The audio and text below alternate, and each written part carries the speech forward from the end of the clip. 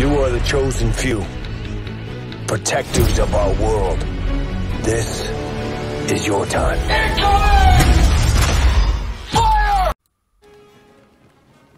Und hallo Leute, herzlich willkommen zu einem neuen News-Video. Und ja, es sind neue Battlefront 2 News am Start, wie ihr es schon im Titel gelesen habt. Und das große, ja, Februar-Update ist jetzt am Start. Morgen schon, beziehungsweise für euch heute auch schon. Und ähm, ja, das Geile ist, es kommt nicht nur wenig raus, es kommt eigentlich sehr viel raus. Und ja, kommen wir jetzt einfach mal zu den ganzen geilen Sachen. Und zwar, wir haben das Age of the Rebellion Update jetzt am Start, wie gesagt. Und es kommen insgesamt sieben neue Standorte dazu für Koop, aber auch für andere Modis werden sieben neue Sachen, also quasi mit am Start sein.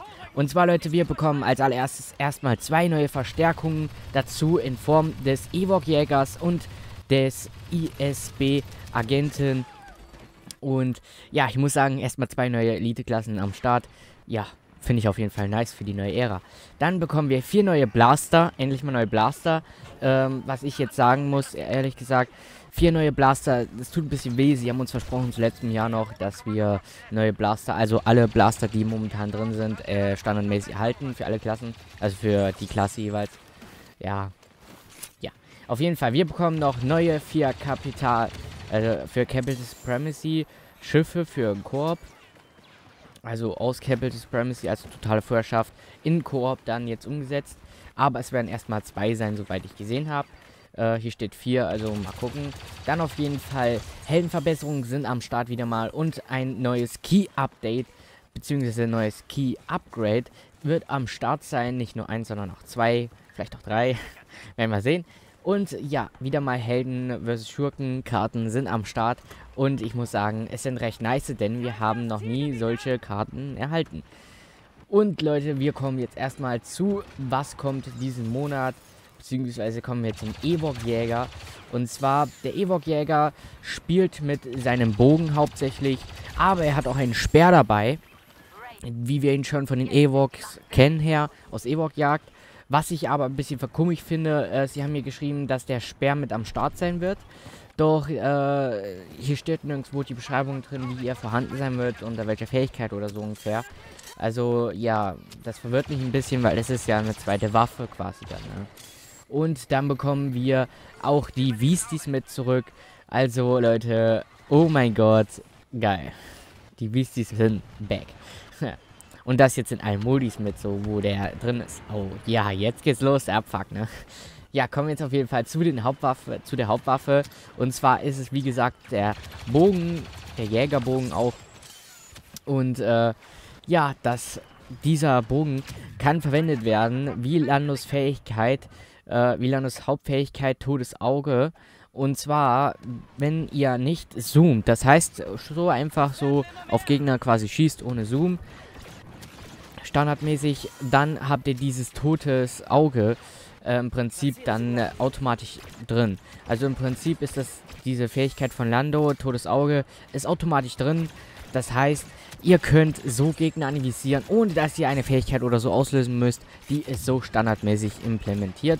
Aber wenn ihr zielt, äh, ist diese Fähigkeit nicht am Start, soweit ich verstanden habe. Das ist auf jeden Fall, naja, ein bisschen doof, aber ich sag mal so, wenn ihr Ziel automatisch getroffen wird, umso länger ihr haltet, kriegt ihr auch noch mehr Schaden bei dem Ziel. Und ähm, ja, das ist recht heavy, muss ich sagen, aber mal abwarten, wie es sich spielen wird. Ne? Ja, wie gesagt, es wird dann auch länger sein, also umso länger ihr haltet, umso mehr Schaden bekommt ihr dafür beim Gegner und ihr macht auch mehr Geschwindigkeit beim Abschuss dann. Das ist natürlich alles recht positiv, ne? Ja, die ähm, Ewok Jäger wird sich äh, die Situation äh, wird, äh, wird sich in einer Situation befinden, die mehr Schaden und Widerstand erfordert. Kommt die Fähigkeit Valent hier äh, Valenthorn ins Spiel, wie wir sie schon von Evox kennen, wo er im Prinzip in seine Tröte bläst, in sein Horn und äh, dann auf einmal das Blasen des Horns verbessert nicht nur die Angriffe wie immer, sondern auch gewährt ihnen auch zusätzliche Standardwiderstand. Ja, also bekommen wir auch quasi äh, mehr Schild dazu. Ähm, ja, eine recht nice Änderung, dass wir jetzt auch Schild dazu bekommen, aber ich glaube, bei den Evox, äh, bei den Evox so allgemein haben die es, glaube ich, auch schon mit eingefügt, aber naja.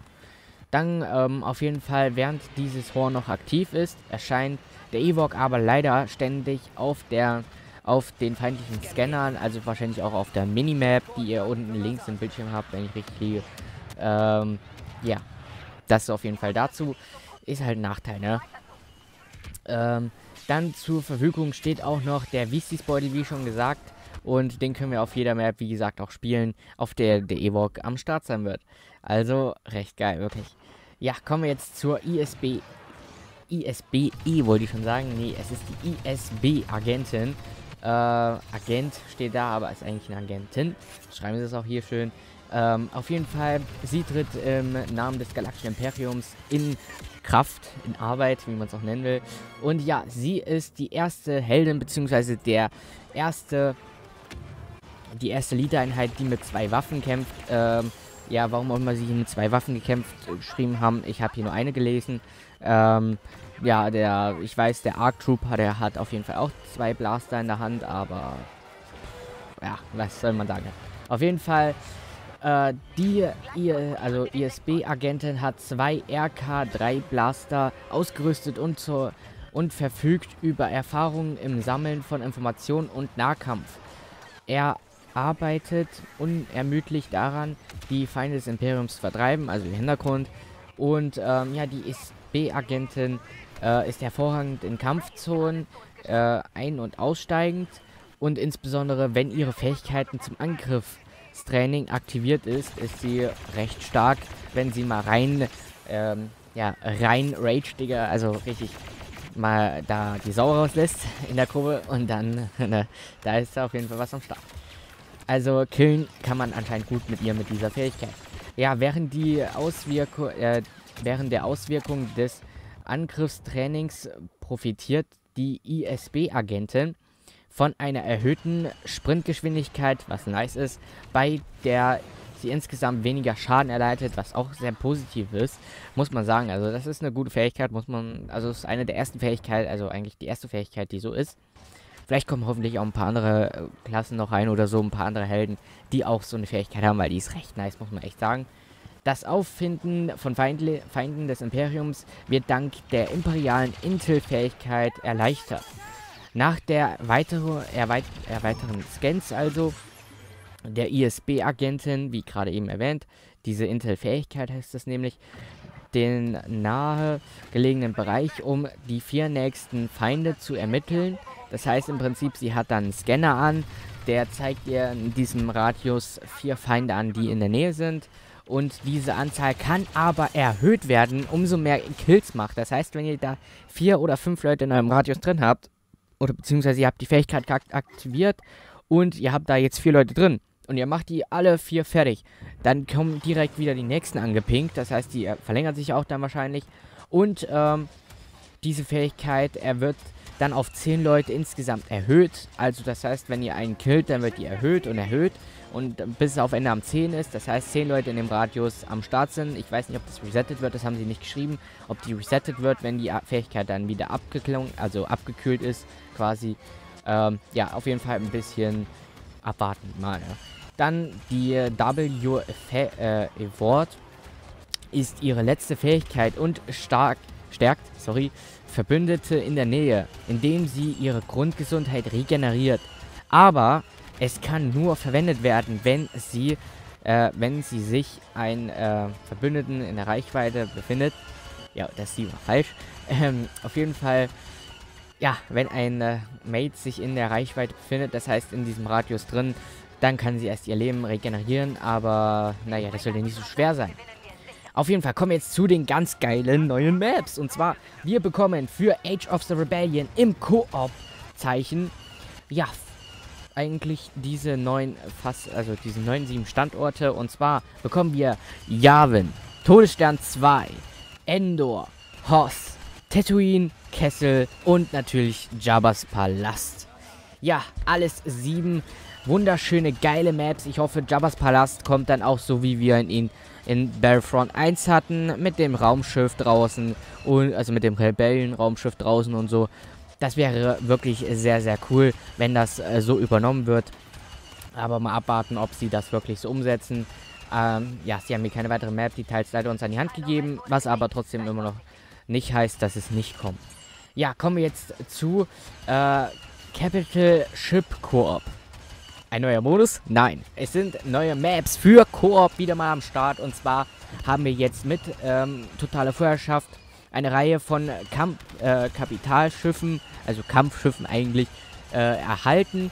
Und die Venatoren und Dreadnoughts von Republik und Separatisten, der MC-85 Starcruiser und der Star Destroyer der Resur Res Resurgent Klasse erster Ordnung äh, werden im Februar, also morgen, damit äh, Eintritt erhalten im Koop-Modus. Und Leute, zuerst werden die neuen Karten Republic, Venator und Separatisten Dreadnought am Start sein. Ähm, das haben sie hier geschrieben. Also es beginnt die Suche mit den beiden. Mal abwarten, ob es wirklich ein neuer Modus ist. Also sie haben es hier ein bisschen geschrieben wie ein neuer Modus, aber äh, sie haben auch hier geschrieben, dass es alles eigenständige Karten sind, die eigenständig handeln. Also ja, mal abwarten, ne? Kommen wir jetzt auf jeden Fall zu den neuen Waffen. Ich werde da nicht viel sagen dazu, außer halt die Beschreibung jeweils nochmal dazu. Die E11D. Wir kennen ja schon die E11. Kommen wir auch gleich zu sprechen drauf beim Lufttruppler des Imperiums. Ja, die E11D. Dieses Mittelstrecken-Blastergewehr wurde zur Präzision zu, und Zuverlässigkeit hergestellt und wird für die Assault-Klasse als Angriffsklasse erhältlich sein. Verfügbarer Modus, ähm, äh, ja, das brauchen wir jetzt eigentlich nicht. Die DL18 wird die nächste sein. Die Kurzstrecken DL18 ist eine beliebte Blasterpistole am äußeren Rand. Also so Jabba, Tatooine, ne? sowas. Es ist zwar etwas weniger leistungsstark als, ein, äh, als seine sch schweren Gegenstücke, gleicht dies jedoch mit einer schnellen Feuerrate aus. Sorry, dass ich gerade so lost bin, aber es ist halt jetzt schon gleich 21 Uhr und ich bin so mega platt heute.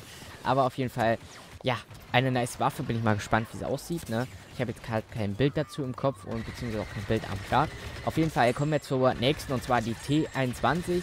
Ein robuster Kurzstreckenblaster, der zum kontinuierlichen Entladen mächtiger Bolzen äh, auf Kosten einer einer geringen Geschwindigkeit hergestellt wird aus Feuer. Ja, Gummiblaster. Auf jeden Fall kommen wir zum Cycle-Gewehr, besser bekannt auch als das Cycler. Das Cycler. Jetzt am Start. Das wird der neue Standardspruch, das Cycler.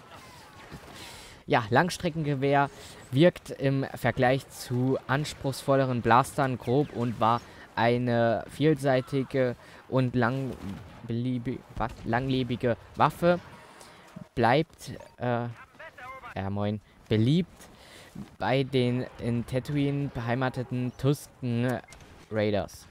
Tusken-Räubern also. Und ähm, ja, das sind die Gewehre, die die immer in den Filmen, in den Originaltrilogien hatten. Die meinen die wahrscheinlich. Also, ja, mal abwarten. Ne? Das wird wahrscheinlich so wie in Battlefield 1 so schön hier mit der Bayonettwaffe rumlaschen. Nein, Spaß. Also, es wird schon ein bisschen interessant werden. Ne? Ja, dann kommen wir jetzt äh, zu Freischaltung. Besiege 50 Feinde als Spezialist, äh, Spezialistenklasse in Koop-Modus. Freischalten 25, 75, 100 Kills. Das sind so ungefähr immer die, die Zahlen jetzt für die Freischaltung, für alles, was ihr da machen müsst, für die einzelnen Stufen.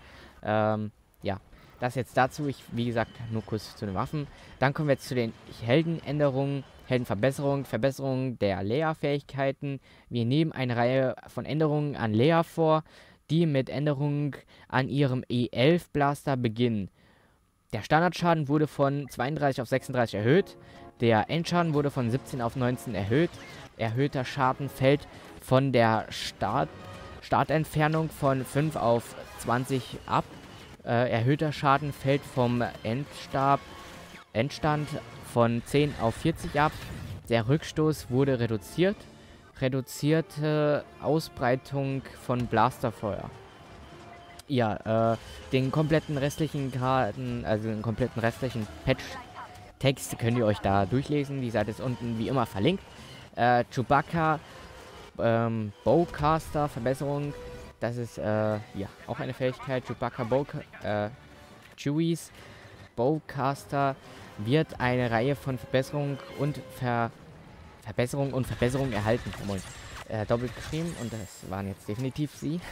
Und den Lieblings-Wookie aller, äh, aller gegen Soldaten effizienter zu machen und gleichzeitig weniger Schüsse zu verpassen.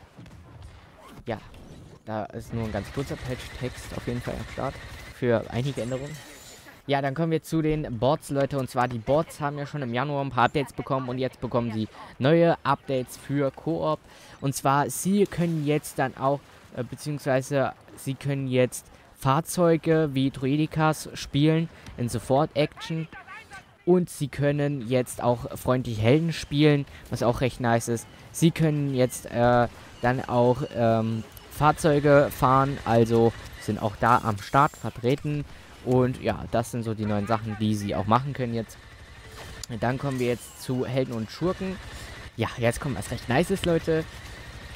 Fans der Helden vs. Schurken Spielmodus, beziehungsweise Modus eigentlich momentan nur, bekommen jetzt äh, ja, neue Maps. Und zwar, sie bekommen den MC85 Star Cruiser als auch der Resur Resurgent Class Star Destroyer als spielbare Karten. Ja, Leute, endlich mal neue Karten am Start. Dazu kommen noch kleine Änderungen an Geonosis und Yavin 4. Ja, das dazu. Dann kommen wir zu den neuen Reinforcements und Truppen-Updates. Ja, Leute, wir erhalten einen neuen Lufttruppler für die imperiale Seite. Und zwar hat der die E11, wie gesagt, am Start. Und ähm, ja, auch die Soldaten sollen entsprechend aktualisiert werden. Der imperiale Death Trooper erhält das E11D Blaster, Blastergewehr. Der Lufttruppler wird mit dem E11 ausgestattet sein.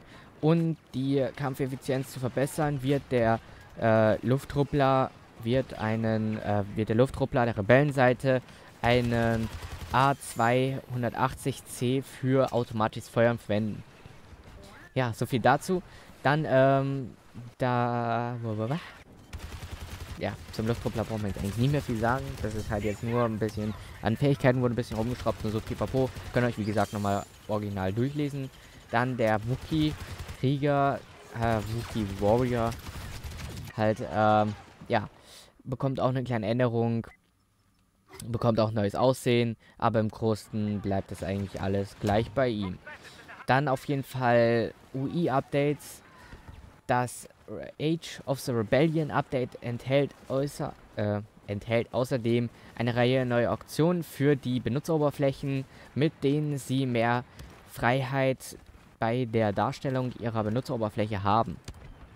Ja, das sieht so aus, dass ihr jetzt nämlich eure ganzen visuellen Sachen einstellen könnt. Und zwar vertikale Position der Waffen, He äh, Heatbar, also Überhitzung, Radar, Squadliste, Spielerliste, Fähigkeiten, Namensschilder, Fortschritt im Spielmodus, Herausforderungsschritt, Rank, also Rang ab, Leveln, ähm, zusätzliche Optionen zur Einstellung, Nachricht von Töten halt von Spielern und äh, ja, das könnt ihr halt je jeweils beliebig verändern, aber ja, könnt euch selber dann aussuchen. Ne? Gibt drei verschiedene Varianten, bei manchen gibt es auch fünf, glaube ich, bei einem waren es fünf. Ähm, ja, beim PC wurde auch noch das Chatfenster verbessert. Bei PC-Spielern sollte das jetzt auch besser funktionieren. PC-Chat, äh, Kill- und Ereignisprotokolle sollen jetzt auch am Start sein und Netzstatus. Ja, das soll jetzt am Start sein beim vertikalen Stapel. Das auf jeden Fall jetzt zum Update. Morgen kommt es raus, am 26. Februar. Für euch wird es dann heute sein. Äh, sorry, dass das Video ein bisschen lang ging, aber naja, ich habe jetzt versucht, das schon möglichst schnell noch runter zu radern. Ja, ich wünsche euch noch einen schönen Abend, schönen Tag, ne? Haut rein, habt einen schönen Tag morgen und wir sehen uns dann im nächsten Video, im nächsten Livestream. Bis dann, ciao, haut rein. Und wir sehen uns natürlich im nächsten Livestream vom ja, Video, äh, vom Update, ne?